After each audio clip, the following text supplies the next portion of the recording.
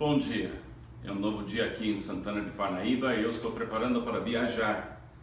Nesse fim da semana vou estar em, estarei em Brasília, na terceira igreja batista.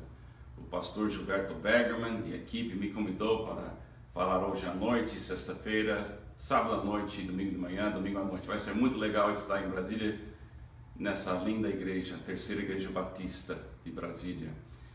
Eu sou famoso aqui na minha casa, na minha família, por ser aquela pessoa que não sabe preparar bem para viajar. Eu sempre esqueço de alguma coisa. A minha esposa, Pamela, tem passado 45 anos me ajudando a aprender a fazer listas. Listas que dizem o que eu deveria levar comigo na viagem. E eu estou aprendendo aos poucos. É cedo aqui em Santana de Parnaíba, então eu vou sair daqui a pouco para preparar para a viagem. E eu fiz a minha lista. E é bom, eu acho que está tudo aqui, tudo pronto. Mas vamos ver quando eu chego lá se tem tudo que eu preciso. Mas também tem uma outra lista que é dentro de mim, que eu preciso também verificar. Porque é uma coisa ter tudo que você precisa aqui fora quando você chega naquele destino, que você tem tudo que você deveria ter em mãos para ter uma boa viagem. Mas o que você tem dentro também você tem que saber. Eu aprendi que o que Jesus é, eu tenho. O que Jesus é, eu tenho. E tem uma lista de sete coisas no Evangelho segundo João que fala o que Jesus é. Então, se ele é, eu tenho. Então aqui é a lista da minha viagem aqui na minha vida interior. Jesus disse: Eu sou o pão da vida. Ele é pão, então eu tenho pão para essa viagem. Eu sou a luz do mundo, ele disse. Então, ele é luz, então eu terei luz durante essa viagem para ver o que eu preciso ver. Ele diz também: Eu sou a porta.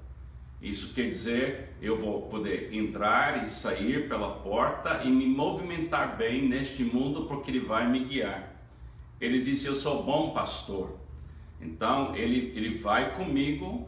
Então ele é o bom pastor. Então eu terei alguém comigo que vai cuidar de mim durante a viagem.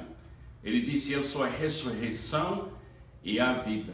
Então, se ele é isso, então eu não tenho que ter medo da morte e eu não tenho que ter medo da vida. Eu tenho ressurreição em mim, porque Ele é ressurreição, e eu tenho vida em mim, porque Ele é vida. Ele diz: é o seu caminho, a verdade e a vida.